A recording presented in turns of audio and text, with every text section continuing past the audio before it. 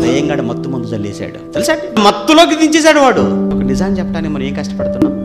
అర్థమైందా? ఒక అబద్ధాన్ని చెప్పి వాళ్ళను నమ్మించి వాళ్ళను మాయ చేసి మోసం చేసి నరకాన్ని తీసుకెళ్ళడానికి వాళ్ళు అంత కష్టపడుతున్నప్పుడు సత్యాన్ని నమ్మిన వారు అండి. సత్యాన్ని నమ్మి సత్యంలో ఉండి సత్యాన్ని అనుసరించి బ్రతుకుతున్నామని చెప్పుకుంటున్న నువ్వైనా నేనైనా మనం ఏం చేయగలుగుతున్నాం చెప్పండి.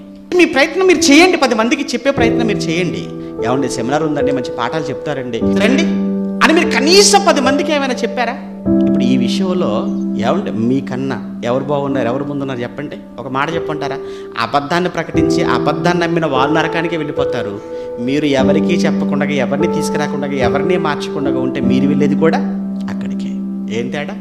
నమ్మిన మనం. మరొకరి కేసుల గురించి పరిచయం చేయాలా? మరొకరికి సత్యాన్ని మనం వినిపించాలా?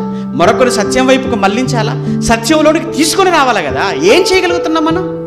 ఇంకో విషయం చెప్పమంటారా? ఈ సత్యాన్ని తీసుకెళ్ళకపోతే సత్యాన్ని సమాజంలోకి వేగంగా తీసుకెళ్ళకపోతే దేవుడు మనల్ని అస్సలు విడిచిపెట్టాడు. ఆ సంగతి కూడా మీకు తెలుసు. ఎవరు యజమాని చిత్తము ఎరిగియో అలాగు చెయ్యని వానికి కొన్ని దెబ్బలు అన్నాడా అనేకమైన దెబ్బలు అన్నాడా?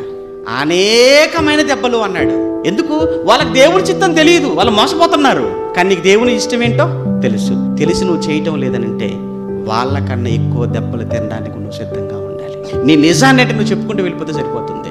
నువ్వు నిజం చెప్పటం లేదు కనుక సత్యాన్ని సమాజంలోకి తీసుకెళ్ళటం లేదు కనుక అబద్ధం వచ్చేసింది. అబద్ధం అబద్ధాన్ని నిజం అనుకున్న అమాయకులు నమ్ముతున్నారు. ఏం చేస్తానని చెప్పండి. వారంలో ఒకరోజు అందరి క్రైస్తవులాగానే వస్తున్నాం కూర్చుంటున్నాం ఆమె అనగానే ఆశ్రమం తీసుకుని వెళ్ళిపోతాం. అంతకుమించి మిగతా రోజులు మీరు ఏం చేస్తారో చెప్పండి. ఏం చేయగలుగుతున్నారో చెప్పండి.